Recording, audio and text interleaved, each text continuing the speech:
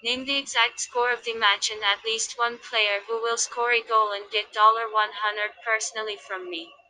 Leave your answers in the comments.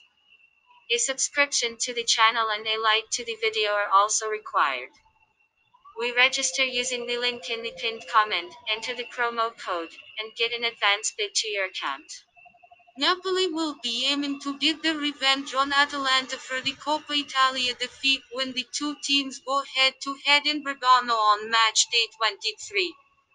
The Neapolitans did well to beat Juventus thanks to Lorenzo Insigne's penalty, but it is well known that they produce much better showings at home than on the travels.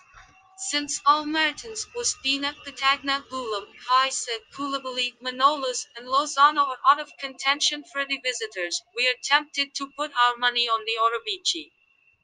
Atalanta defeated Cagliari on the road thanks to Muriel S late goal, meaning that they are high on spirits ahead of Sunday's showdown.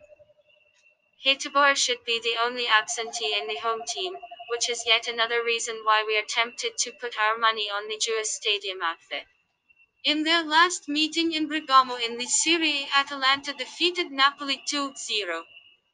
This match will be played on 21 02 2021 at 20 o'clock.